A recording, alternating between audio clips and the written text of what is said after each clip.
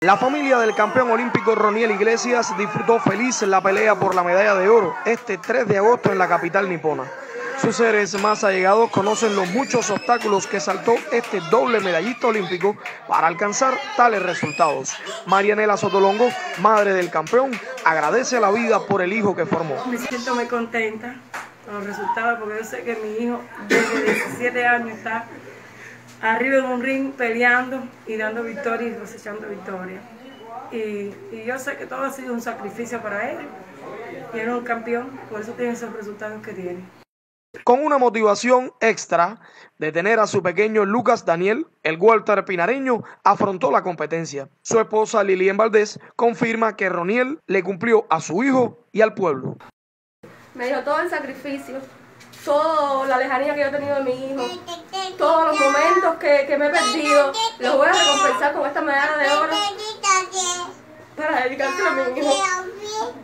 Y no hay nadie para mí que se parezca más esta medalla que él, por la consagración, por, por todo, como él ha sido como deportista, se lo merece, se lo merece y, y, la familia estamos muy contentos y muy emocionados. Entonces, felicitarlo.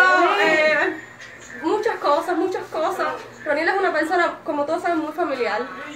Eh, nosotros habíamos soñado hace muchos años tener nuestro niño y entonces eh, nada, se nos dio, se nos cumplió, gracias a Dios.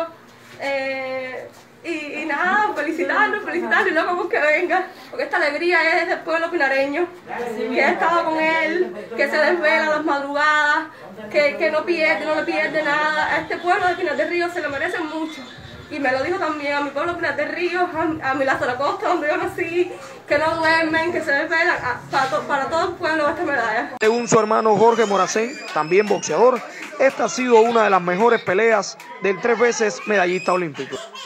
Yo tengo que mirarme en el espejo él, a ser grande igual que él, ¿me entiendes? Ya que estamos en el mismo deporte y practicando lo mismo, a mí es un orgullo tener el hermano que tengo. Se crece en momentos, en los momentos que tiene que crecerse, lo volvió a demostrar que es grande.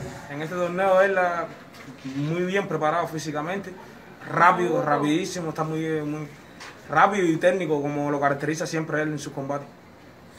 Eh, ha sido un boxeador muy consagrado a su deporte, un atleta muy disciplinado y nosotros desde que lo vimos entrenando aquí en Pinar del Río cuando la, el equipo nacional mandó a sus atletas para la provincia, que estuvo aquí en nuestra provincia, eh, yo sabía, estaba en la forma que estaba entrenando, yo estaba completamente convencido que iba a ganar el, el, los Juegos Olímpicos de, de Tokio. El doble laureado bajo los cinco aros volvió a hacer historia. Con esta medalla de oro, la primera del buque insignia en estos Juegos, Cuba llega a cuatro y celebra feliz una jornada productiva.